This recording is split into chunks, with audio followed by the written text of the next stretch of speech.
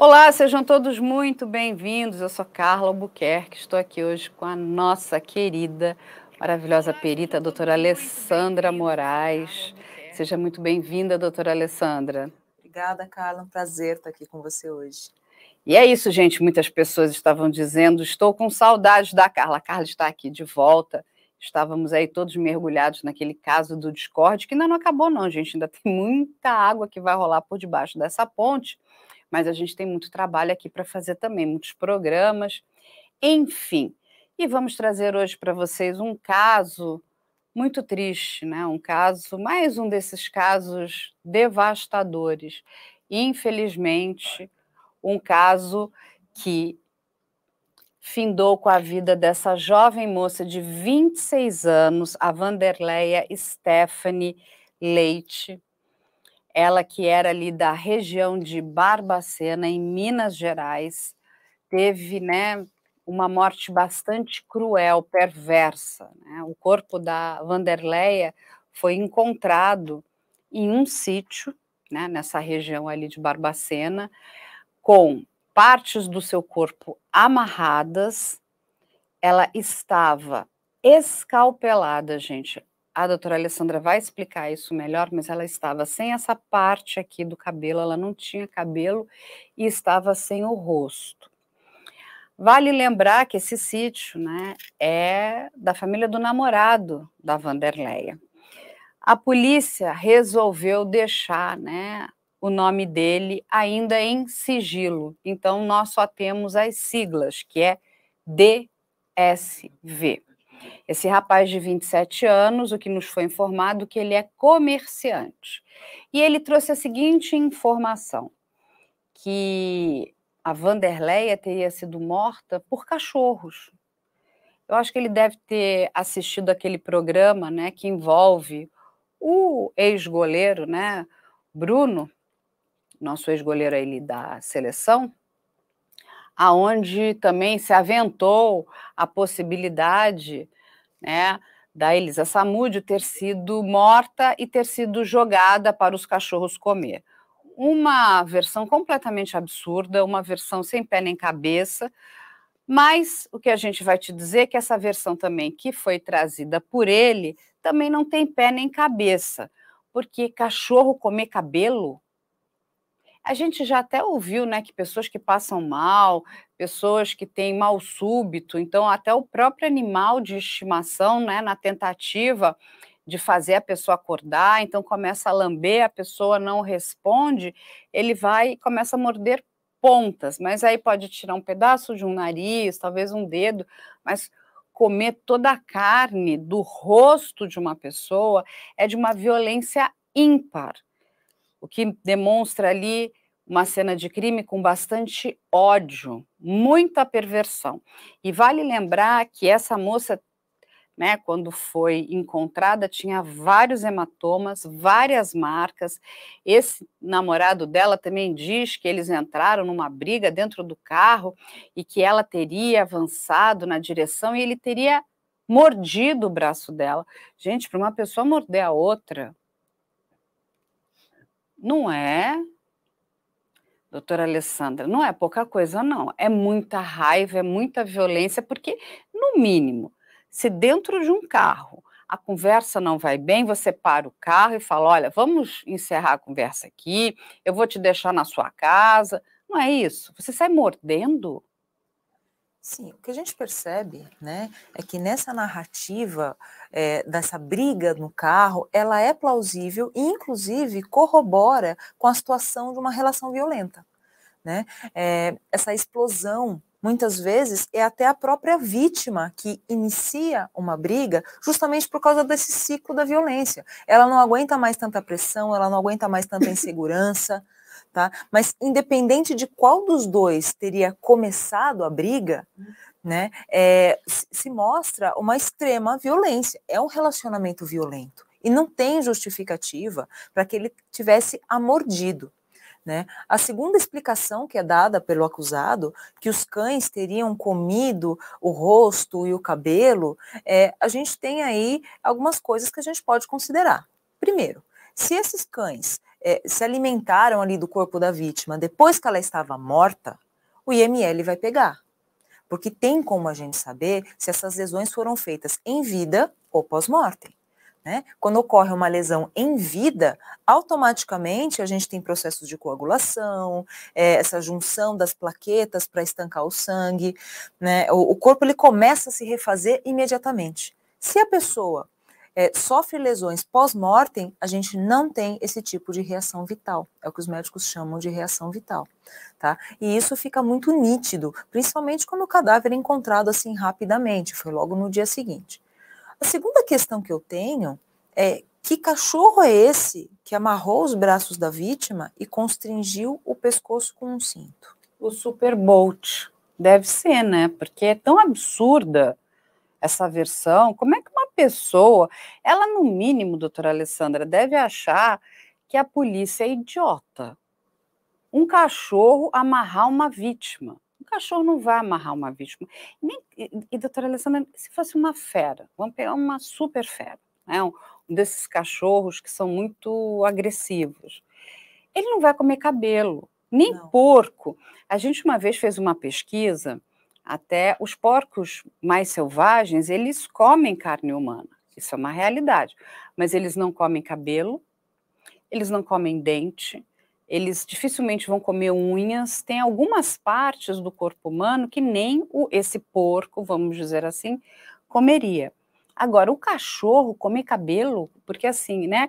E quando a gente fala em. É, o que você muito bem falou, é uma mordida.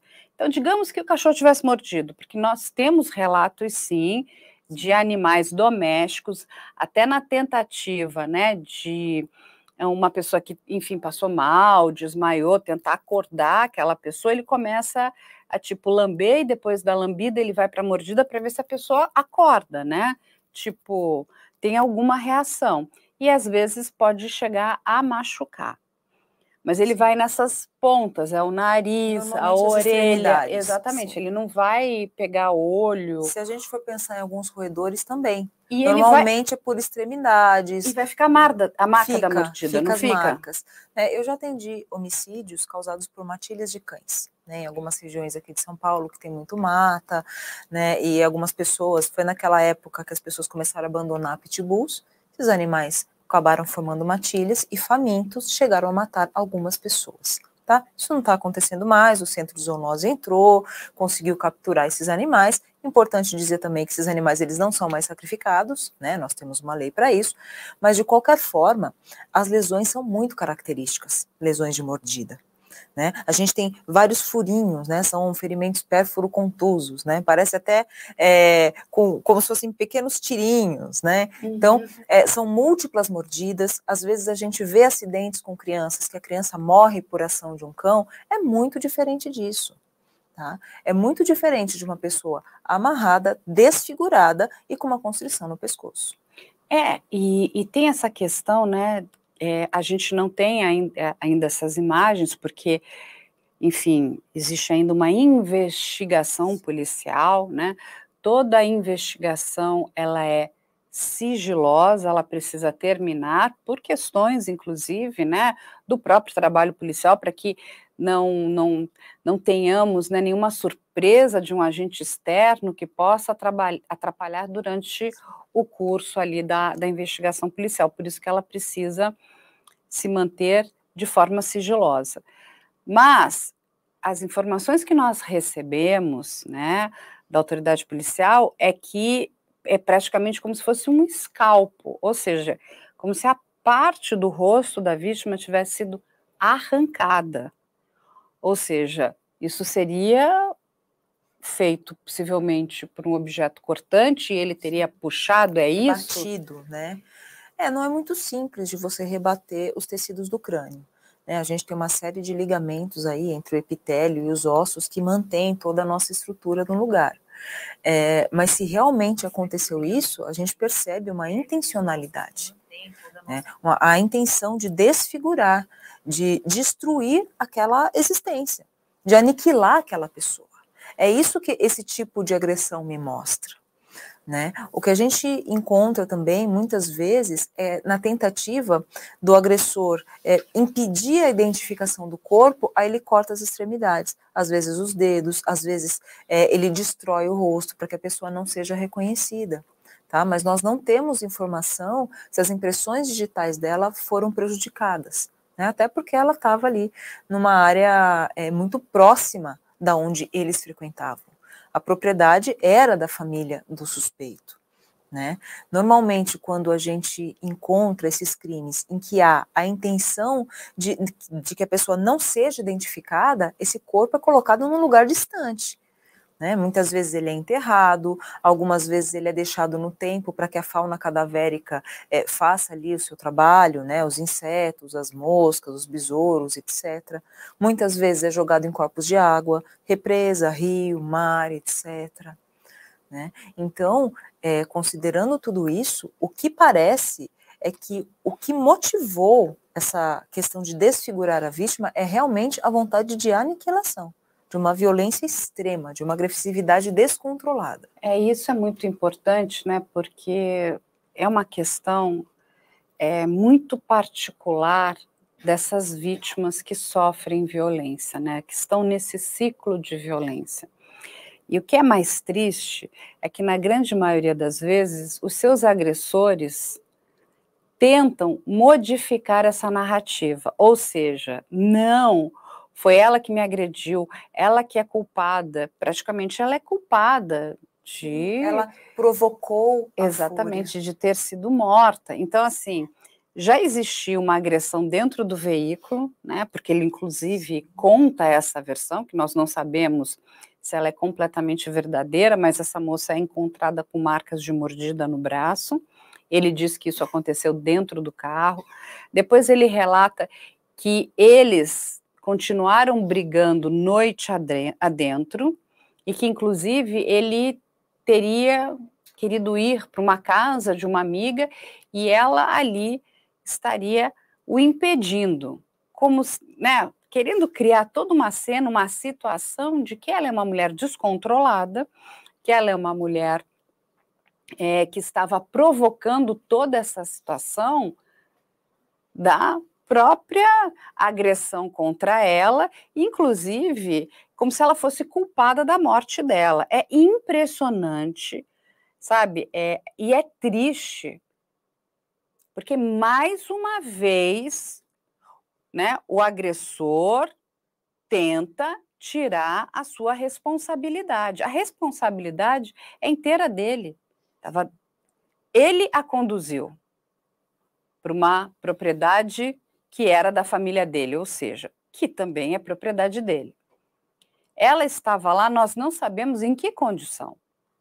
Né? Qual a condição emocional? Porque a gente está falando da violência física que foi encontrada nessa moça. A gente não sabe qual é a violência emocional, a violência psicológica que essa mulher já vinha passando. O que que levou, né? Porque assim, quando a gente chega nesse é, vamos dizer, no ápice, que infelizmente é a morte da Vanderleia, e ela não, para mim, ela não morreu, não foi uma morte simples, foi, deve ter sido uma morte um tanto quanto é, drástica, violenta, porque ela tinha um cinto no pescoço, ela estava imobilizada, ou seja, perverso. Essa explosão durou horas. Não, né? ela não tem, ela não essa crise de violência Sim, durou teve, horas. Ela não teve como se defender. Sim. Você imagina uma pessoa toda amarrada, ela foi possivelmente enforcada e depois desfigurada. E é sempre assim. O agressor, quando tem ódio da vítima, principalmente se a vítima for mulher, é o rosto, né? É desfigurar o rosto dela. Até porque a Vanderlei era uma mulher bastante bonita. Você imagina para a família dessa moça a agressão de receber esse corpo todo desfigurado. E ele não é culpado de nada, gente. Ele não é culpado, ele não sabia de nada. Cachorros amarraram a Vanderleia. E assim, e o que é mais triste é que tudo nos indica que já era uma relação violenta. Então, essa relação passou por ciclos de violência, reconciliação, violência, reconciliação, tensão. É, por diversas vezes até chegar nisso. Não foi a primeira vez. Eu aposto com você, Carla, que não foi a primeira violência física, que a violência psicológica era uma constante. Porque a cada ciclo da violência, a violência se torna mais forte, se torna mais grave, até chegar no ponto da pessoa ser morta de uma forma cruel e perversa.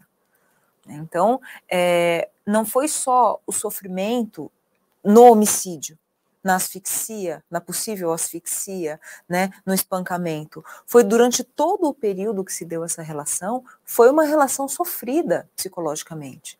As agressões, elas não começam no extremo, elas começam na, na agressão psicológica, no gaslighting, no tratamento de silêncio, na humilhação, na manipulação, e vai se tornando cada vez mais grave. Quanto mais grave a agressão nesse ciclo, maior a compensação. Então, muitas vezes, a vítima fica presa nesse jogo psicológico e ela não consegue sair. A vítima nem consegue perceber que ela está fazendo parte desse ciclo. Por isso que é importante a gente falar cada vez mais, cada vez dar mais detalhes do ciclo da violência, para que as pessoas que estão de fora consigam perceber e tentar ajudar essa vítima. Porque a pessoa precisa de ajuda. Sim, inclusive a própria vítima, né? as próprias vítimas, porque é, as mulheres que estão nesse ciclo de violência, né? o ápice, né? vamos dizer, né? o, o, o momento trágico final, é o feminicídio. É muito triste. Então, se a gente não interromper esse ciclo, se nós não ajudarmos essas mulheres, se nós não ajudarmos essas famílias, porque é muito difícil, né? A gente tem uma mania muito simplista. Ah, larga dele. Quem está de fora consegue enxergar. Mas quem está dentro daquela situação, quem está envolvida naquele universo, tem mais dificuldade. Essa pessoa precisa de ajuda. Porque o próprio agressor, gente, ele é muito manipulador. Ele fala: não, me perdoa, eu não vou fazer isso nunca mais. Aí a pessoa fica de coração partido: não, ele me pediu desculpas, ele é vai mudar. Da lua de mel. É a fase mais traiçoeira. É, ele né? vai mudar, ele gosta de mim, acho que foi só uma fase. Não, ele não vai mudar. Ele vai piorar, ele vai aumentar, ele vai escalar a violência.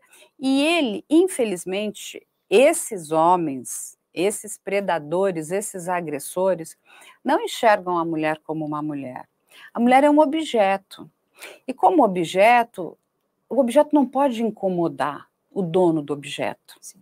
Porque o que, que você faz quando um, um objeto está te incomodando? Você joga fora, você se desfaz, você modifica, né? Você quebra ele. Então, é, é mais ou menos a mesma mentalidade. Sim. Isso está me incomodando, ela me irrita. Ela vê, então eu vou bater, eu vou fazer, eu vou acontecer. E, e, e a violência, a gente já escutou isso aqui muitas vezes do professor Christian, ela tende a, a ir num crescente. Sempre. Porque o agressor ele faz, nada acontece com ele, então ele entende, opa, eu posso dar mais um passinho aqui. Nada acontece, ele vai, né, se arvorando, ele vai crescendo, crescendo, crescendo até na hora que ninguém segura mais. Sim. E aí é quando ele acha, eu posso fazer tudo. Não, não, você não pode. E digo mais, se fizer, vai ser preso. E novamente, a punição para agressores, graças a Deus, tem sido muito bem aplicada. E eu falo, vou repetir um milhão de vezes. O sistema carcerário não gosta desse tipo de criminoso. E repetimos aqui, não é, não é um desejo nosso, né? não é um achismo. Isso é uma realidade lá, gente.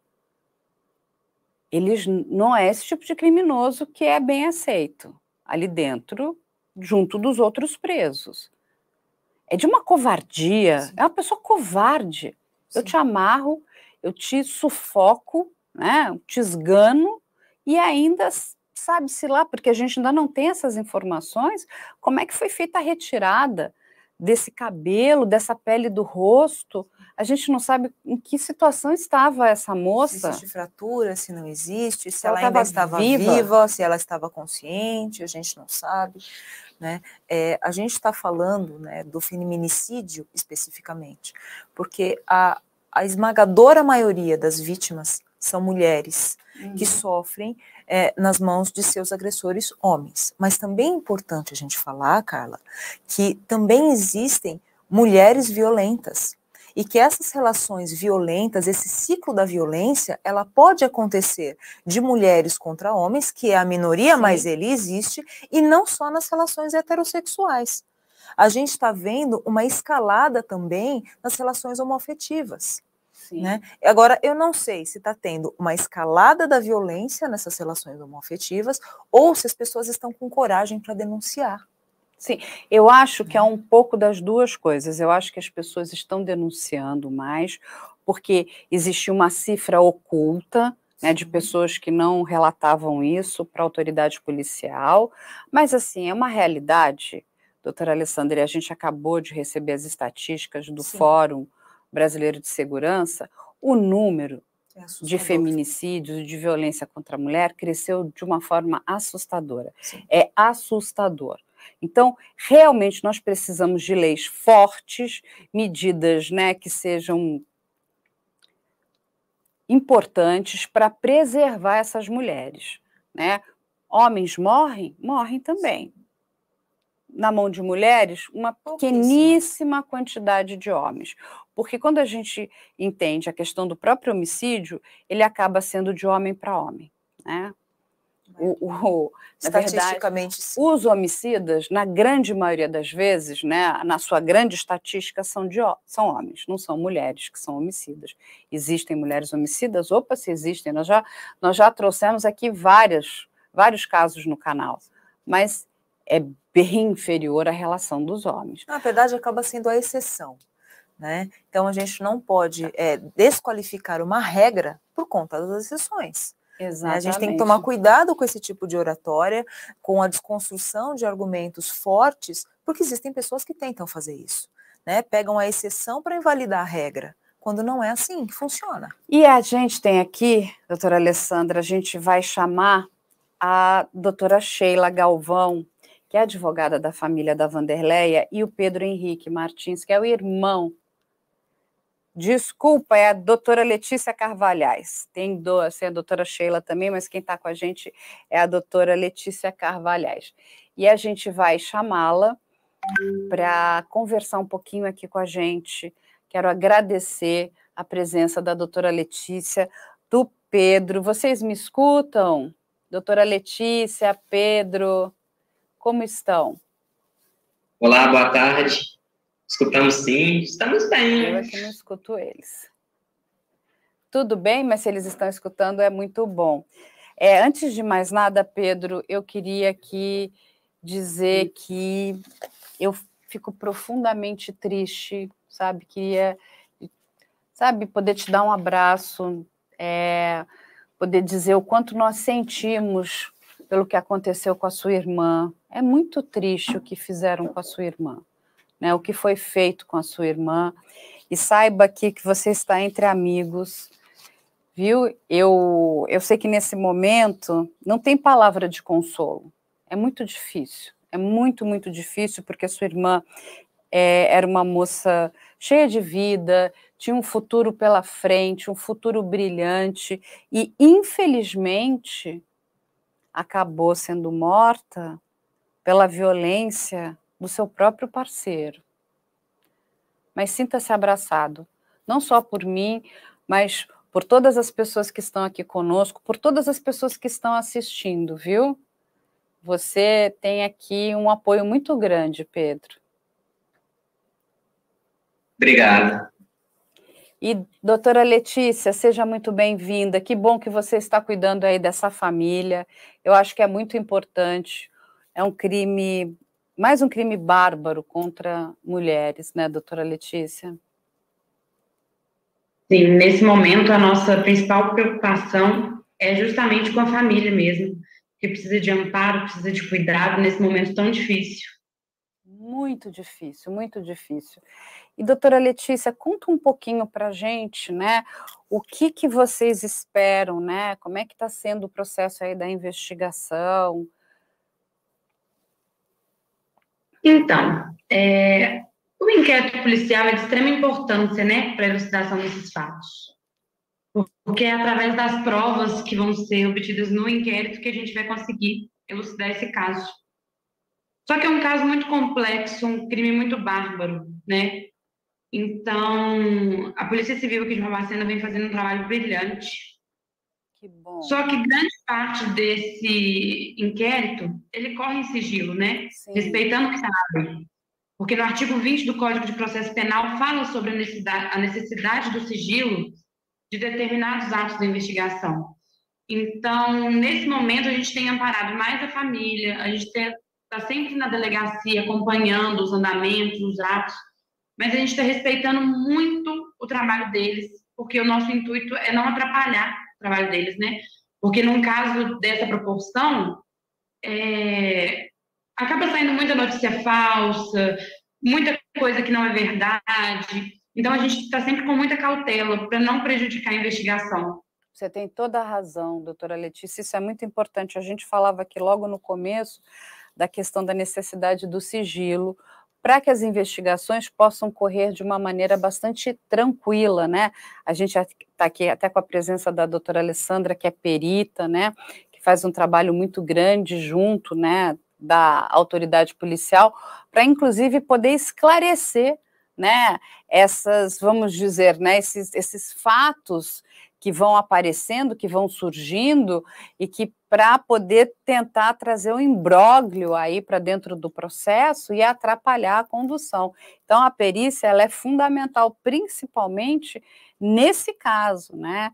Que o agressor tenta dizer que não foi ele, ele não fez absolutamente nada, né? Tenta jogar culpa, inclusive, em cachorros, e a gente estava até conversando aqui com a doutora Alessandra, que ela explicou que os cachorros não vão fazer isso, né? Acho que ele andou vendo o material aí do, da época, né, do goleiro Bruno, e acho que ele se inspirou nos absurdos, só que ele não estudou direito. Eu estava até conversando aqui com a doutora Letícia, que essa tese veio por água abaixo, né? Aquela história toda que ela teria, enfim, desaparecido porque cachorros teriam comido ela. Mas, assim, é muito importante a gente aguardar que a investigação seja concluída, correto, doutora Alessandra? Correto. Né? Nesse momento, o papel da perícia é levantar todos os elementos materiais. O acusado vai poder dizer o que ele quiser. Né? Contra as provas científicas, não há argumentos. É essa a grande questão. Né? E eu tenho certeza que os peritos aí de Barbacena estão fazendo um trabalho brilhante e que a delegada também. Né? Ela está conduzindo todo o inquérito, está ali em contato com os peritos, justamente para trazer um conjunto robusto de provas para esclarecer o caso e levar o possível agressor para a cadeia. Exatamente. Agora, sabe o que é muito importante, Pedro? A gente honrar a memória da sua irmã, da Vanderleia. Então, assim, se você pudesse contar um pouquinho, porque a gente sabe que ela era uma né, contadora, né, ela trabalhava com contabilidade, tinha 26 anos, mas conta quem era a Vanderleia para o Pedro, para a família de vocês. Então, a gente pode falar assim que ela era uma pessoa muito feliz, muito alegre. Ela era, nossa, o carinho que ela tinha com nós, os familiares dela, era, era quase a minha segunda mãe. Meu pai até pegava no pé dela e falava assim: Nossa, você está muito rígida com o Pedro. Mas ela falava sempre: Não, ele tem que focar nos estudos dele. Ele tem muito futuro, ele é muito inteligente, é muito sábio. Então, a nossa relação era sempre assim: muito carinho, muito afeto, muito amor envolvido, sabe? Mas era, a gente era muito carinhoso um com o outro. E o serviço dela, a gente não tem nem o que dizer, porque ela, a gente recebeu um carinho enorme do, dos os amigos de trabalho dela, que foi no velório, no caso, eles chegaram lá muito comovidos, falando assim, nossa, não estou acreditando que isso está acontecendo com a nossa Stephanie. E ela era uma filha para nós, porque ela era mais novinha lá do, do grupo de, de funcionários, né? Então, todos acolhiam ela como filha. Então, ela era muito querida. O patrão dela, muito carinhoso com ela também. Falava assim, ele a gente está sem acreditar até agora que essa barbaridade foi acontecer justo com ela, né? Mas, assim, ela era uma pessoa muito cheia de amizades, nunca teve inimizade com ninguém, muito querida. Onde ela chegava, o sorriso dela encantava qualquer um, porque ela era muito linda, igual vocês falaram que esses crimes acontecem sempre com garotas muito lindas e a minha irmã era linda, linda. E até isso eles conseguiram tirar dela, o sorriso dela, aquele rosto lindo, aquele cabelo dela muito encantador, sabe? E a gente sabia dessa tamanha crueldade que foi feita com ela. E na hora que a gente viu, o, foi fazer o reconhecimento do corpo, a gente viu aquela cena de. Nossa, foi muito, muito chocante, porque eles conseguiram tirar aquele sorriso lindo dela, aquele olhar dela, cabelo dela, que era muito. Nossa, ela tinha um xodó com aquele cabelo dela. Nossa, e saber que foi tirado nossa.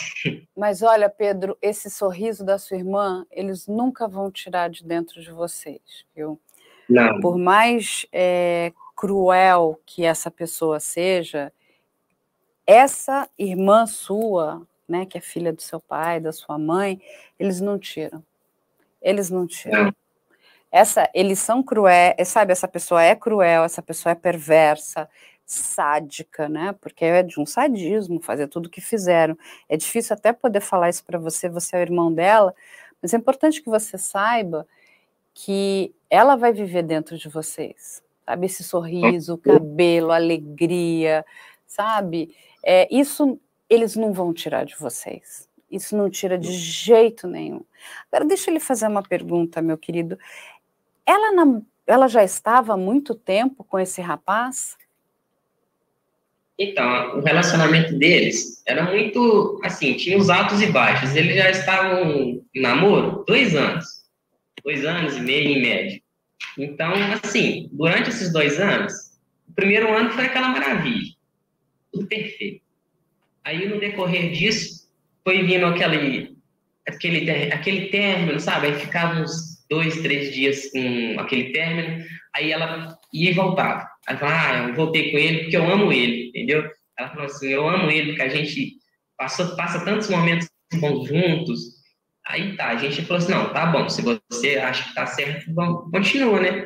Aí passava assim uns dois meses, acontecia a mesma coisa, eles iam terminavam. Aí chegou um momento que nós, familiares dela, eu, meu pai e minha mãe, chegou um certo ponto que nós falávamos com ela, assim, ó, se você terminar novamente, a gente não vai aceitar ele aqui em casa, porque isso aí já está virando uma palhaçada.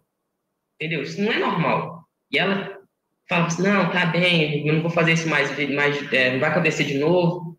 Aí, o que que acontece? Foi lá e terminaram de novo. Aí, acho que ficaram quase uma semana. Aí, meu pai e minha mãe falaram assim, ó, a gente não vai aceitar ele aqui. E se você quiser namorar com ele, voltar com ele, você volta, mas aqui a gente não aceita determinado dia, volta ele lá em casa com ela, com a cara de cima, entendeu? Como se nada tivesse acontecido, e voltou a rotina normalmente. Aí foi até acontecer essa barbaridade toda aí. Sim. E Pedro, como que ele tratava a sua família, vocês? Ele era uma pessoa distante, fria, ou ele tentava ser uma pessoa legal ali, pelo menos aparentava ser uma pessoa legal ali com a sua família? Então, ele sempre demonstrava muito, sabe, aquele, aquela pessoa que tenta ganhar todo mundo na conversa, na lábia, vamos supor assim, ele tinha muita lábia, porque todo mundo falava assim, nossa, Daniel é gente boa, conversador, bacana, ele chegava, todo mundo que ele via, ele abraçava, entendeu? Tentava ganhar aquela pessoa no, no na, na lábia, literalmente, porque eu falei, o que ele tem é muita lábia, ele é, é aquele famoso malandro, que chega em qualquer lugar, faz amizade com todo mundo, entendeu? E, então, o nós era assim, ele demonstrava muito carinho, sabe, muito próximo, mas, infelizmente, é aquela duas caras, né? E, e, vocês sabem, vocês têm conhecimento se ele teve outros relacionamentos, se eram relacionamentos também assim explosivos, agressivos? Ou a sua irmã nunca falou nada para vocês? Não, ele já comentou sim que ele havia tido outros relacionamentos e, consequentemente, não duraram, aconteciam as mesmas coisas, os mesmos casos de ciúmes, entendeu? E términos excessivos, muito corriqueiramente, assim, terminava e voltava. Mas ele chegar ao ponto de falar que teve alguma agressão física ou moral, mental, nunca falou. Entendi. E aí, Pedro, até queria que a gente tem aqui uma super perita, né, uma, uma fera, uma das melhores, viu, da Polícia Técnico-Científica aqui de São Paulo. Eu gosto muito dela. E eu sei que muitas dúvidas estão aí na sua cabeça, né? É, e você, você quer fazer alguma per pergunta para a doutora Alessandra para que ela possa te ajudar? que, que ela possa esclarecer, ou que tenha alguma desinformação que está sendo falada, para que ela possa elucidar, né, para que não, as pessoas não saiam repetindo né, notícias falsas e mentiras, porque a gente precisa, inclusive, encerrar o ciclo de mentiras, inclusive para preservar a memória da sua irmã. Então, no momento, a gente está confiando excepcionalmente no, da, no trabalho da perícia, né? porque a gente fica ouvindo conversas externas, aí cada hora chega uma, uma controvérsia, fala de uma coisa, fala de outra. Então a gente está evitando o máximo pegar essas, essas informações para pegar para a gente, para tomar como, é, vamos supor assim, decisão final. Então, no momento a gente aguarda assim, o resultado da perícia para eles elucidarem é, ao pé da letra o que aconteceu e tudo mais, mas, assim, uma, uma questão, um ponto que eu deixo aqui, uma incógnita, né, para a gente tentar resolver, é o seguinte, que a história do, do cachorro ter feito isso, ter desfigurado o rosto e tal, eu acredito que o cachorro não teria a capacidade de amarrar uma pessoa, entendeu? De fazer aquele ato de barbaridade, igual no, no, na fisionomia do rosto dela não tem marcas de mordida de cachorro. Aquilo foi um objeto importante, entendeu? A gente até deixa um ponto aqui para tentar fazer efeito, porque essa história do cachorro não está não tá bem contada. Não, realmente, essa história do cachorro, ela não faz muito sentido. Né? Agora, você ainda me traz uma, uma informação de que tem um ferimento é, causado por um instrumento cortante. Quando a gente tem é, mordidas, a gente tem arrancamentos de tecido. Né, e são muito diferentes. O perito chega no local, bate o olho e ele percebe o que está acontecendo ali. Né, a gente sabe se foi uma faca, um bisturi, uma tesoura, alguma coisa assim. A gente percebe. O legista, ainda mais né? E aí na região de Barbacena, do interior, nós temos excelentes peritos, excelentes legistas. Inclusive eu conheço um pessoal do interior, vai no vai, eles estão aqui e são maravilhosos, de extrema competência, extrema dedicação. Então eu tenho certeza que eles vão sim trazer todas essas, essas respostas que são necessárias para elucidar o que aconteceu, de uma forma clara, de uma forma coerente, de uma forma irrefutável. Sim, e acredito também que todas essas, vamos dizer, né, essas teorias, né, essas ficções que vão sendo criadas, né, é, cachorro, porque vão aparecer várias, viu, Pedro, infelizmente, né, é um processo bem difícil para a família de vocês, né, mas eu tenho certeza que a doutora Letícia vai ajudá-los, né, ah, e vocês precisam se manter firmes, porque todo mundo adora uma teoria da conspiração. Ela é mais interessante, sabe?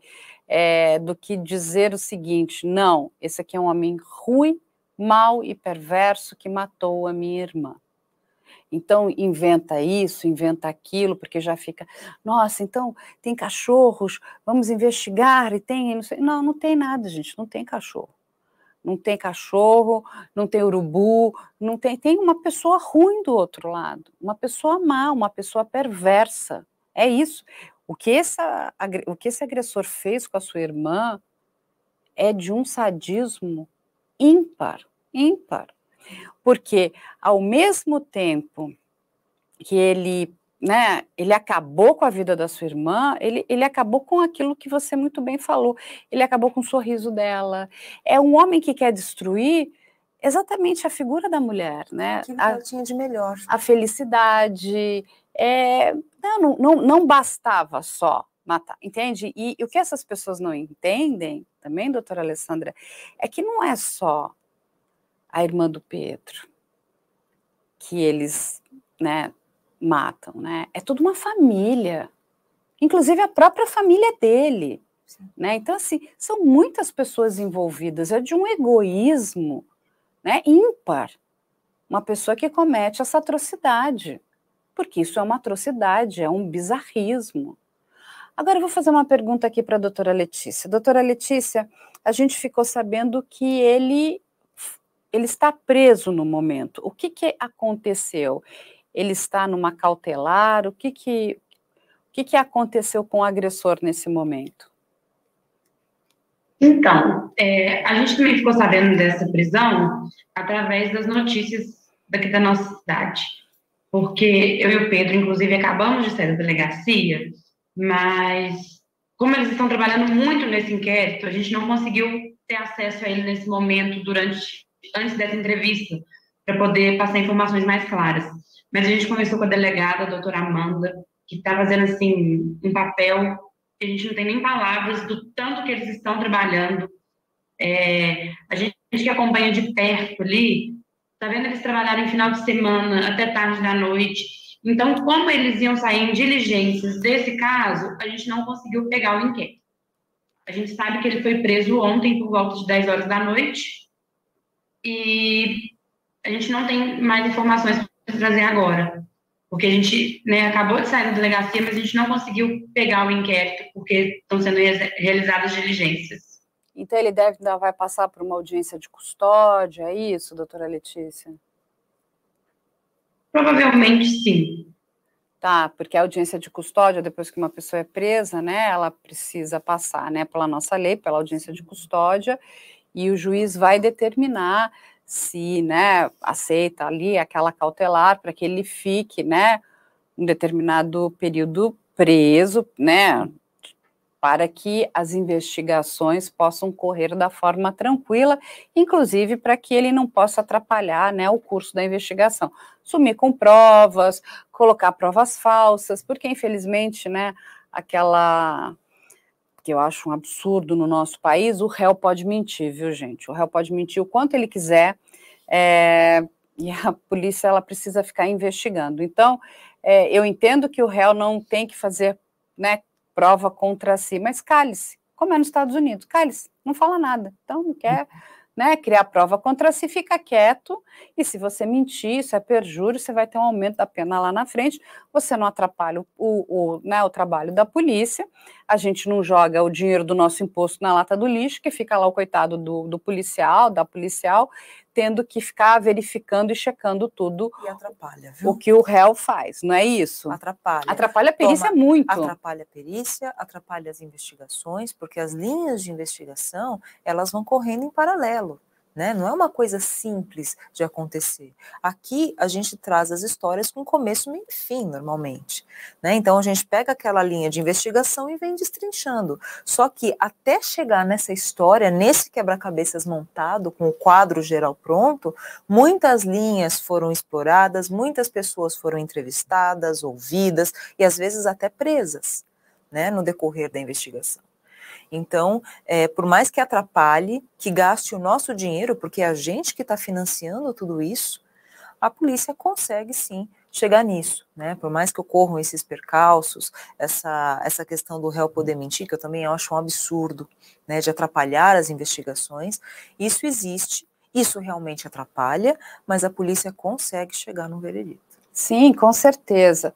E Pedro, eu sei que seus pais devem estar destruídos. Mas conta um pouquinho deles. Ah, queria muito poder abraçar seus pais, meu querido. Era filha então, única, Pedro? Sim, somente eu e ela de, de filhos. Mas, então, deixa eu contar um pouquinho. A, a princípios, né, no, no, dia que a gente ficou sabendo do, do acontecimento, do fato, nós ficamos, assim, estabilizados, né, ficamos sem chão, porque tiraram um pedaço da gente, né? E eles falam que nunca esperariam de um dia fazer o enterro de uma filha, né? E de tamanha crueldade que foi o fato. Mas a gente está com muita fé. A gente acredita que tudo tem um propósito e o propósito de Deus é maior. E o que, tá, o que nos está é, fazendo firme nesses momentos, nos dando força, é ter essa fé. Essa fé em Deus. A gente falou que isso que aconteceu, ela com, com certeza está lá com Deus. Deus acolheu ela de braços abertos. E no, nas primeiras semanas, né, a gente ficou muito abalado, muito chocado com a tamanha crueldade com o crime, mas assim, o que nos confortou mais foi saber que a gente tem um Deus maior que está nos confortando, dando essa, essa bênção, porque a gente imagina que se tudo tem uma história, tudo tem um propósito para acontecer, isso já estava escrito que era para acontecer e tal. E Deus, acho que tocou em nós, sabe, deu esse conforto, essa calma, porque a gente não ia saber lidar com esse, desse, desse momento. Mas meus pais agora estão mais coerentes com o caso, ainda mais com as notícias que a polícia está soltando, que teve essa prisão, e a gente está depositando maior é, desejo, assim, saber as notícias que está é, querendo elucidar os fatos, né? Mas a gente sofreu bastante, foram, foram várias noites sem dormir, chegava em casa, a gente chegava lá e olhava para o quarto dela, assim, tinha a impressão que ela ia chegar em casa do serviço para jantar com nós na mesa lá, porque esse contato que a gente tinha era noturno, né? Ela saía para trabalhar muito cedo, então ela chegava já era seis horas, aí a gente reunia todo mundo e comia junto. Aí a gente tem essa esperança, sabe, de chegar em casa e ter essa, essa sensação dela chegar e estar tá presente nós. Mas, infelizmente, essa esperança que nós temos não é verdadeira, né? A gente sabe o que aconteceu, mas a gente tenta enganar a nossa mente com tudo isso. É muito difícil, Pedro, né? Esses desligamentos, né? A gente sabe que nenhum de nós aqui é eterno, né? Ninguém fica para semente. Mas é o que você muito bem falou, não é natural um pai e uma mãe enterrar um filho, né? Isso não é natural. Isso é muito difícil, né? É destruidor. Principalmente nas, nessas circunstâncias, desta forma, desta forma de novo covarde e cruel. Mas, como você muito bem disse, tem alguma, a gente precisa acreditar que existe alguma coisa mais forte, maior, né? É, inclusive para a irmã de você, para sua irmã, sabe? Porque é, é, ela não merecia nada disso. Eu sei que quando essas coisas acontecem, só resta a gente acreditar na polícia, na justiça, né? E eu digo que não existe justiça, no fundo, porque a justiça não tem como trazer a sua irmã de volta. Mas a justiça, ela vai punir esse agressor. A justiça vai fazer um bom trabalho. A justiça vai, eu acredito, né, principalmente, né, concluir esse trabalho com a pena máxima, porque é isso que ele merece. Ele merece a pena. De fazer Pode eu falar. Gostaria até de fazer uma pergunta para a doutora Alessandra. Se Faça. o vasto conhecimento dela, a experiência nos casos que ela tem, se ela poderia nos informar com esse breve, esse breve é, relato dos fatos aí que está acontecendo tudo, se ela sabe nos informar que se teve a participação de mais algum de terceiros autores no caso, ou se teve só participação de um, dois ou três ou mais autores, porque eu acho que tamanha veracidade dos fatos ali, com certeza teve a participação de um segundo autor. Olha, é, não parece, tá? Pelas informações preliminares que nós temos, não há indicação de uma segunda pessoa. E é comum, infelizmente, a gente ver essa barbárie toda, essa violência toda é, produzida por uma única pessoa. Eu acho que uma das coisas que mais assusta é que uma monstruosidade dessas é feito por uma pessoa que nem se parece com um monstro. Ele frequentava a sua casa, ele tinha certa é, confiança da família, né? Então, sim, tinha né, um, um monstro ali, mas indetectável. Né, a hora que é, esse ódio todo, que essa coisa toda veio à tona, é, me parece que ele fez isso sozinho. Né? Foi um crime de ódio, né? não dá nem para a gente falar em crime passional. Isso não é paixão, isso é ódio. Né? É, o que então, eu acho que é então importante, né? E eu acho que a, o trabalho policial vai conseguir trazer luz a isso, é saber se ele premeditou de alguma forma esse crime, não é? Da onde veio o cinto, da onde veio o fio. Exatamente. Ele levou, ele levou aquilo com ele, ou foi algo que estava ali com ele por uma situação alheia à, à vontade de matar, né? Ele então planejou, sim. porque me parece, né, pelo pouco que a gente tem de informação também, e respeitando novamente o trabalho da doutora Amanda, da delegada, é que teve uma determinada organização nas coisas, né? Inclusive, ele comenta que, tá aqui, que ele tentou sair, ela não deixou, a gente não sabe em que condições a sua irmã estava dentro daquele local, né? Se ela já estava amarrada, não é? Quanto se ela, ela, teria apanhado? Exatamente, se ela já estava subjugada, qual era o tipo de tortura que ela né, já vinha sofrendo, né? Porque com certeza a tortura psicológica, desde que ela entrou dentro daquela casa e possivelmente desde que entrou dentro do carro, o ponto que ele diz que ele chegou a mordê-la, né? É muito, gente, é. Não que justifique. É não, exatamente. É, eu não sei qual é o tamanho dele, mas eu não acredito que ele seja um homem tão pequeno, né? Ela é uma mulher de uma estatura média, pelo que a gente vê nas fotos, e sim, nitidamente, ela não é uma mulher que você que vai colocar, né, é, um homem em perigo, né? Para é, é, já, já começou tudo errado, né? Quer dizer, a mordida e ele, olha que coisa interessante, Pedro. Ele mesmo se entrega, né? porque ele pode ter dito que a mordida é uma coisa que aconteceu depois. Então, assim, mesmo num universo de mentiras, a pessoa conta algumas verdades. E ela e são essas verdades que vão colocando ela nessa situação complicada, essa pessoa, né? Então, e um bom policial que a gente diz, né, eles têm tirocínio.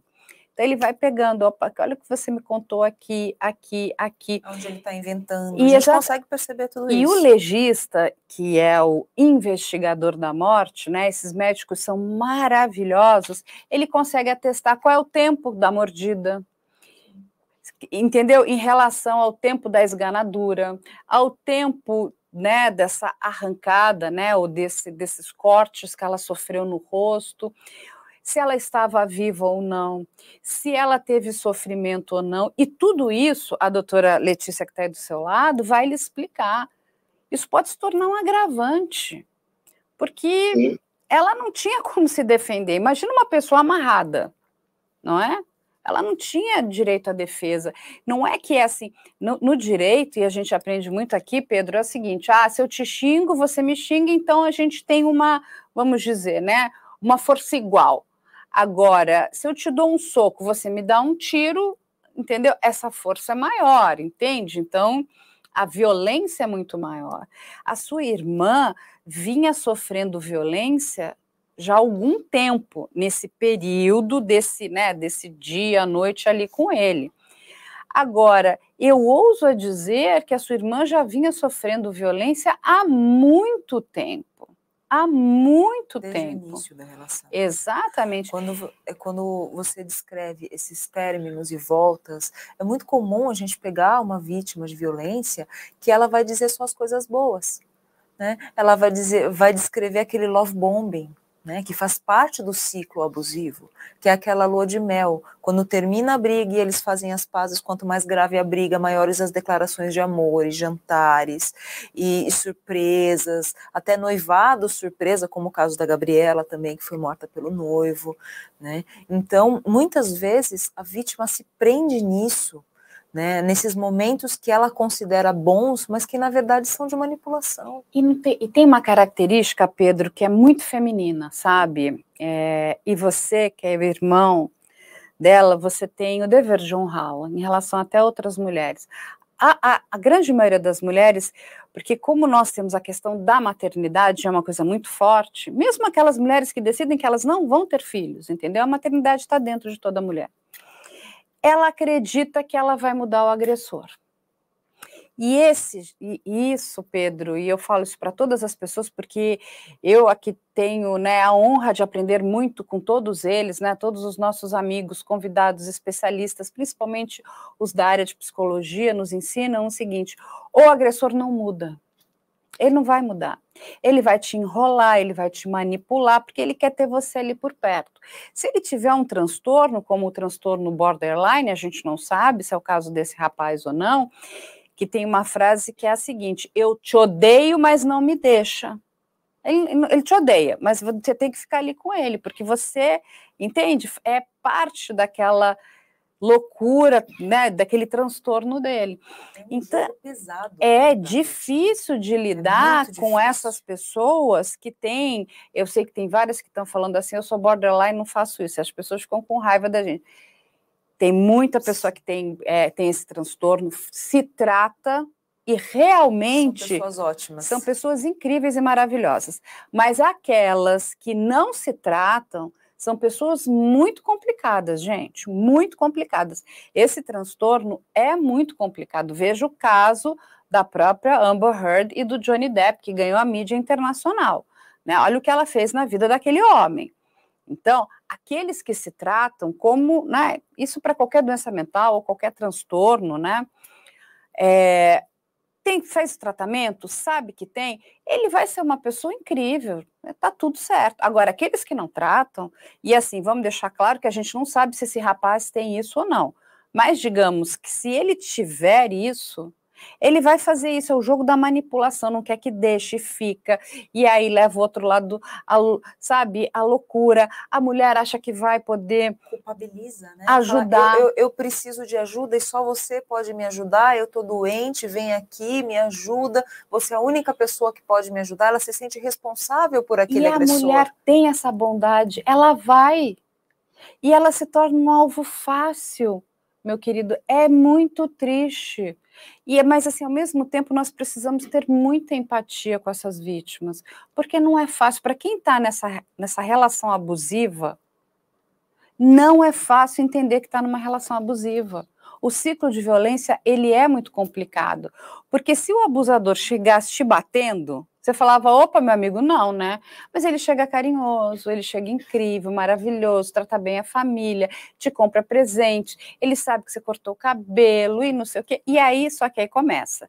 Ai, mas essa sua família é chata. Aí já começa, não, vamos conviver menos. Nossa, mas aquele seu amigo não gosto. Ah, e, sei, e começa a ver defeito. Não, essa roupa é muito curta. Ah, então começa a ver. Então, esse é o ciclo da violência. Ele vai começando pequenininho até que chega na explosão. E uma mulher, é, quando está num relacionamento abusivo, se ela ousar deixar o abusador, o abusador fala: opa, opa, opa, não, não, não, não, você é minha propriedade, como é que você vai me deixar? Aí ele, se, ele fica transtornado. Sim. E são todos esses casos que a gente trata aqui, né, no programa, de homens que acabam não aceitando né, o final dessa relação e chegam nesse, vamos dizer, né, no ápice, no ápice da tragédia que é a morte dessa mulher. Estou errada, doutora? Minimiza a violência, né? Como, ah, eu não fui tão violento, eu só xinguei, ou eu só dei um soco, eu só quebrei um osso, eu só dei uma facada. Ou, é, ah, não, mas quem começou foi ela quem, quem teve a crise de ciúme foi ela, começa a inverter a culpa como se algo nesse universo justificasse uma violência. E não é assim que funciona. Né? É um jogo psicológico muito perverso em que a vítima ela se vê presa numa teia. E mesmo quando a vítima consegue perceber que ela está naquela teia, que ela está num ciclo abusivo, muitas vezes ela não consegue sair. Ela precisa de ajuda, ela precisa, é, às vezes, de medidas protetivas tão importantes, né, que a gente tem agora pela nossa lei, e mesmo assim, mesmo com muitas medidas protetivas, mesmo com toda a polícia, mesmo com todos os BOs, muitas vezes essas mulheres são mortas. Mas olha, Pedro, confie, viu? Confie na polícia. É, eu, particularmente, gosto muito do trabalho da polícia, a nossa polícia é muito empenhada sabe? Ela trabalha aí com o coração em vários casos, não é fácil, viu? Principalmente quando a polícia precisa lidar com homicídio, é muito difícil, é muito triste, porque é uma vida que se foi, sabe, de uma forma que não é natural, né? É inesperada. E a gente precisa acreditar também na nossa justiça. O, o Ministério Público está aí, ele vai dar todo o apoio para vocês, né? Eu tenho certeza que a doutora Letícia também fará um trabalho bastante importante na área como assistente de acusação. Vocês nomearam ela, ela vai poder caminhar, ajudar, ela vai ser a voz da família também. E é importante honrar a sua irmã, viu? Honrem a sua irmã, não deixem que ninguém, ninguém, ninguém desonre, né, desonre a, a memória da sua irmã, porque não é justo, sabe? É, infelizmente, vocês vão passar por momentos difíceis, né? O, o, agressor ele vai tentar descredibilizar a sua irmã, ele vai se colocar numa posição de vítima, é, e isso tudo faz parte. Mantenham-se fortes. Vocês vão precisar aí de bastante resiliência e a gente não sabe como é que a gente encontra a força, mas a gente encontra, viu? Tem muitas pessoas boas no mundo, vocês vão receber apoio de pessoas que vocês nem imaginam, viu? E é muito legal, aceitem esse carinho, aceitem esse apoio, porque é muito importante. Sabe? Ajude seu pai, ajude sua mãe, sabe? E é um momento que vocês precisam estar muito unidos, muito unidos, sabe? E, e de novo, honrando a memória da sua irmã, você vai ajudar muitas outras vítimas, sabe? Principalmente para que é, a gente possa explicar esse ciclo de violência, para que a gente possa ajudar outras mulheres, porque é muito triste. Eu queria agradecer muito vocês. Muito obrigada, viu, doutora Letícia, Pedro, todo o meu carinho para você, meus, sabe, meu profundo, sabe, sentimento por tudo que vocês estão passando aí, que não é fácil. Nós que agradecemos a vocês pelo espaço de fala, a, a maior visibilidade desse caso. Como você mesma disse, um, esse caso foi uma, um abridor de chaves, um divisor de mares, porque a gente vai conseguir ajudar muitas mulheres que estão passando por esses mesmos problemas e elas vão ter força e vão pegar firme com a gente e vão resolver esses casos assim. Eu tenho certeza, e podem contar conosco, viu? O que vocês precisarem, o que nós pudermos ajudar, estamos de portas abertas. Porque eu sempre digo, não existe nada mais importante para a gente do que as vítimas. Nada, nada. As vítimas são muito importantes. E elas não serão caladas. Não serão caladas. Agradece justamente esse espaço né? Para que não consigam calar essa família, né? E não consigam inverter os papéis, igual muito bem dito pela senhora, né? Que às vezes é, tem uma inversão de papéis e que isso não ocorra no caso da Vanderleia, que era uma menina muito boa, uma família muito boa, muito amada, muito querida na nossa cidade, e que esse papel não se inverta, né? Que ela tenha a sua honra, a sua memória preservada pela menina boa que era, trabalhadeira, honesta. Com certeza, meus queridos, contem conosco e vamos honrar a memória da Vanderleia, não é? Para que onde quer que ela esteja, ela esteja em paz e que ela continue sendo uma luz de proteção na sua família. Pensem nela com esse sorriso, com alegria, entende? Honrem a Vanderleia, ajude seu pai, ajude sua mãe, serão momentos muito difíceis. Agora ainda está naquela adrenalina das investigações, mas depois vai. Isso tudo passa e fica aquelas saudades, fica sempre aquele o porquê, como será que ela seria, né? Quais sobrinhos que eu não conheci, não é? As histórias que eu não vou mais poder dividir com ela. Por isso que eu sempre digo, a gente tem que sempre abraçar as pessoas que estão perto da gente. A gente nunca sabe o dia de amanhã. Mas fiquem em paz, viu? Você também. Obrigado. Que isso. E aí vou voltar aqui para a doutora Alessandra, porque tem uma pergunta da Giovana Balbi. Ela fala o seguinte, doutora: se presencio que uma mulher está entrando em um ciclo de violência, como ajudar a evitar que a situação escalone para um caso de feminicídio? Quais recursos estão disponíveis além do boletim de ocorrência, por exemplo? Olha, Giovana, mais importante né, do que as medidas legais e protetivas é o que a gente está fazendo aqui. É a educação, é o esclarecimento, é, é dar esse poder para as pessoas de identificarem os sinais de alerta antes que a pessoa esteja presa nessa teia. Né? Então, é muito importante a gente conversar sobre isso. Eu sei que tem muita gente falando sobre isso, muita gente falando com informações muito boas e muito fidedignas, mas eu ainda acho pouco. Né? Porque se por um lado, a gente está tentando esclarecer o maior número de pessoas, também tem muita gente do outro lado que está tentando descredibilizar as vítimas. Que está querendo dizer que violência, ah, isso é coisa de homem mesmo, homem é impulsivo, homem é violento, e isso não é verdade.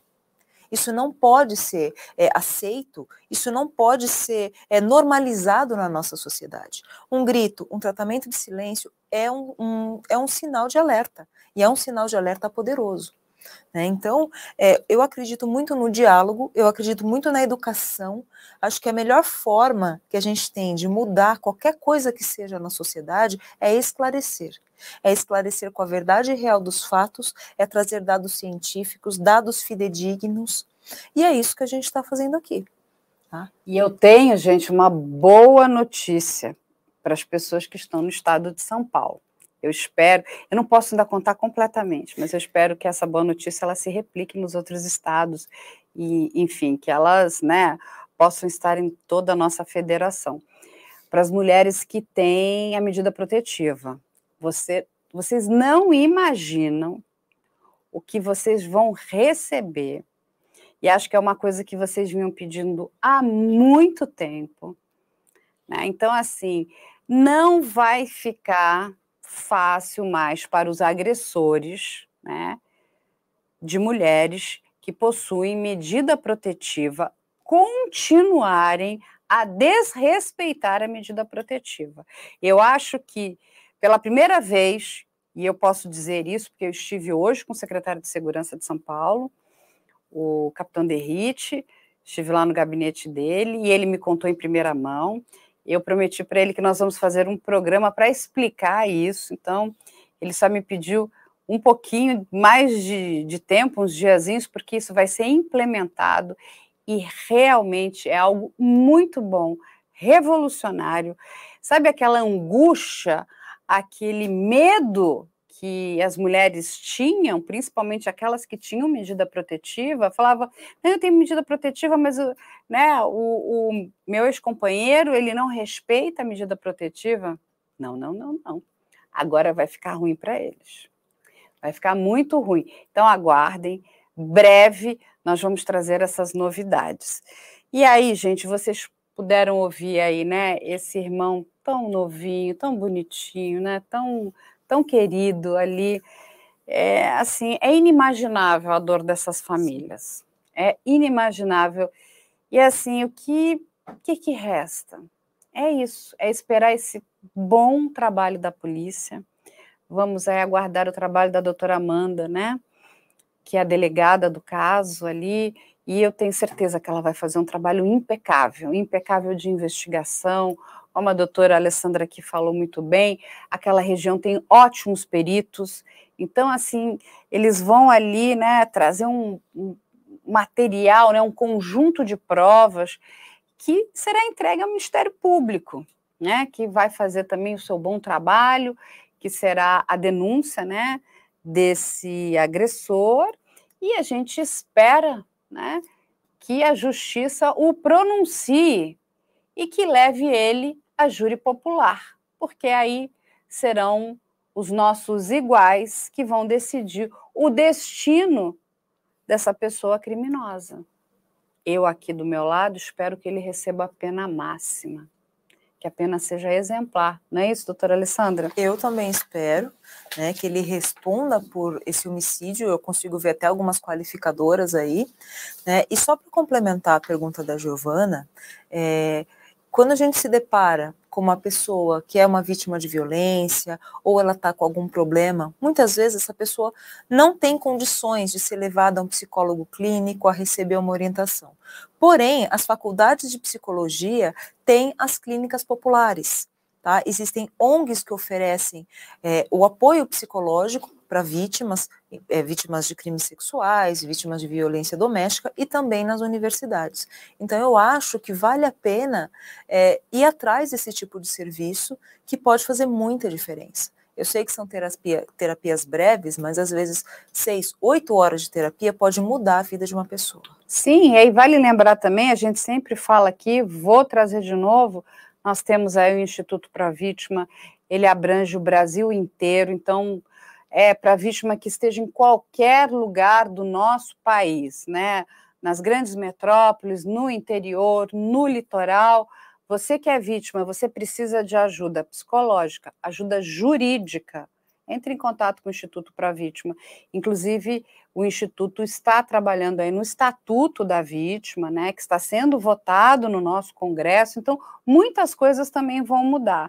E vale a pena a gente lembrar aqui que o Instituto Pro Vítima, a presidente dele é uma grande promotora de justiça aqui de São Paulo, a doutora Celeste Leite, que tem como foco principal cuidar da vítima. Né? E ela nos ensina muito. Né? Quando um crime bárbaro como esse acontece, não existe nada mais importante do que a vítima, do que a família da vítima. E nós precisamos todos unidos trabalhar para que esses crimes não aconteçam. Então, uh, eu acho que isso vale para amigos, para a sociedade, para o vizinho, para a comunidade. Se você está vendo uma pessoa sofrendo, né? Porque, de novo, é muito difícil, às vezes, para a vítima entender o sofrimento que ela está passando. Ajude essa pessoa não vire as costas. E não é fácil, viu, gente? No começo, a própria vítima, ela não quer se ver na posição de vítima, ela acha que você está interferindo. Então, as coisas precisam ser feitas com cuidado, né? É, conversas, é, com ajuda, a gente oferece naquele primeiro momento. Às vezes, a própria vítima não vai aceitar, mas depois, sabe, com o tempo, ela vai entendendo o processo que ela está vivendo e ela vai sentir o seguinte: essa ajuda é super importante. Eu sempre digo, quando a gente ajuda alguém, acho que a doutora Alessandra vai concordar comigo, faz muito mais bem a gente do que ao outro. A ajuda para o outro, ela é muito importante, mas você também está se ajudando. Então, quando a gente tem empatia com o outro, a gente está fazendo algo muito bom para a gente mesmo. Então, eu acho que essa é a, é a mensagem. A gente tem que transformar o círculo vicioso num círculo virtuoso. Né? É, e é um trabalho diário. Se a gente achar, ah, vai acabar, a violência não vai acabar, os crimes vão acabar, não, não vão acabar. É uma questão da gente é, se achar poliana, né? Que a gente está em Nárnia, não é nada disso. Mas a gente pode mudar muitas coisas, né? E se a gente ajudar uma vítima, eu sempre valeu já valeu super a pena. Se a gente conseguir ajudar mais do que uma, então valeu mais a pena ainda. Então a gente pode também ser ali um objeto multiplicador. Não é porque você não sofre violência que você não pode ajudar uma pessoa que está sofrendo violência. Eu acho que é isso que a gente tem que ter em mente, isso certo? vale para todos, né? A gente, todos. claro, a gente está falando com as mulheres aqui, porque as mulheres Qualquer são as vítima. maiores vítimas, mas os homens também. Os Crianças. homens têm mães, os homens têm irmãs, têm amigas, né? Às vezes, até eles mesmos são vítimas de relações abusivas, abuso patrimonial, abuso financeiro, e o ciclo é sempre o mesmo. Então, eu acho que quanto mais a gente proliferar essa semente da educação, essas informações fidedignas, é, esse ajuda, né? É, a gente tem que proliferar esses institutos de ajuda, de informação, que é só assim que a gente consegue uma mudança. Ainda que pequena, ela vale a pena. Sim, vamos ajudar. Vou deixar aqui as redes sociais da doutora Alessandra, quem quiser entrar em contato com ela. E mais importante, ela é uma grande professora, os cursos dela são incríveis. Um monte de gente me pergunta aonde eu faço cursos na área de perícia criminal com a doutora Alessandra. Aí eu vou passar a bola para a doutora Alessandra. Posso contar a novidade? Deve. ainda não, nós ainda não lançamos, o lançamento vai ser amanhã, mas no dia 2 de setembro, em São Paulo, eu vou dar um curso de tanatologia e necrópsia. Vai ser o dia inteiro.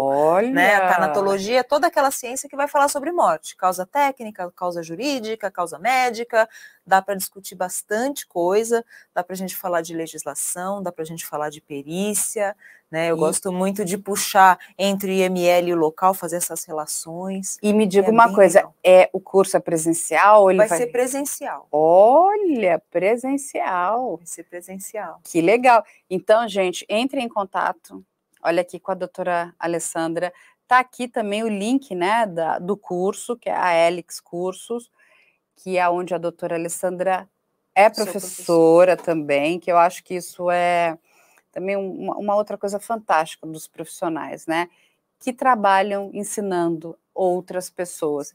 Então, você que quer mais informações, quer aprender mais, ou já é da área, quer né, poder se especializar em algo diferente dentro né, dessa área de perícia criminal, não deixem de fazer os cursos da doutora Alessandra. Vai ficar aqui também as nossas redes sociais, vocês já conhecem, é, hoje eu não trouxe nenhum livro, vou ser muito honesta com vocês. A semana foi muito corrida, né? A gente está correndo contra o tempo. Infelizmente, são muitos crimes, muitos casos, e por incrível que pareça, são casos muito grandes que vão chegando aí na nossa mão e a gente não consegue dizer não. Esse é o problema. Então, ficam aí as nossas redes sociais. Na próxima semana, no nosso ao vivo, nós vamos trazer toda a história né, do crime que envolve a Maria da Penha. Inclusive, é um caso muito importante, porque foi o crime que essa mulher sofreu que deu origem a uma lei que é muito importante, que é a Lei Maria da Penha. Ela é perfeita? Não, ela não é perfeita. Ela precisa de muitos ajustes, de muitas adaptações, mas ela é um marco muito importante para as mulheres, ela é um divisor de águas, principalmente em relação da violência contra mulheres, violências domésticas. Então, assim, ela é muito, muito importante. A gente vai trazer toda essa história aí para vocês, aí com um time de especialistas, e vamos trazer muitas informações também é, de bastidores para vocês, porque tem aí uns zum, zum, zums, né? Tem umas pessoas se arvorando, né? Contra a lei, que é natural, né? Quem não gosta da Lei Maria da Penha? Doutora, os agressores, né? Eles não gostam. Quem se sente prejudicado por ela. Eles se sentem prejudicados, eles são sempre vítimas, né? Impressionante como o agressor é vítima. É impressionante. Eu sempre digo, se você acha que você é vítima, né? Que você sofreu algum dano ali, um, um, um julgamento errado, eu indico aqui o projeto Inocência. Eles são incríveis. Se de fato o seu caso é de um erro judicial, bate lá. Se eles te atenderem, é porque tem coisa assim ali. Agora, se você bater lá e eles não te atenderem, é porque, né, querido, não tem erro judicial, né? E é sempre assim, o agressor, ele, ele diz que não, que ele não errou, ou a agressora, né? Então, mas a gente vai trazer a questão da Maria da Penha, dessa mulher que infelizmente ficou paraplégica por conta dessa questão de violência, né, e de violência doméstica. Mas isso a gente vai falar na próxima quarta-feira, então não deixem de estar conosco aqui na quarta-feira que vem, porque é muito importante. Eu acho que não é só importante para mulheres, não é importante para homens, porque os homens que são decentes apoiam a Lei Maria da Penha. Eles não querem ver as mulheres em sofrimento. Só quem quer ver mulher em sofrimento é agressor de mulher, gente. É isso. Estou errada? Não. Então é isso, doutora Alessandra, muito obrigada. Obrigada a vocês que nos acompanharam hoje. Um beijo enorme no coração de vocês e da nossa equipe. E a gente se vê na quarta-feira que vem.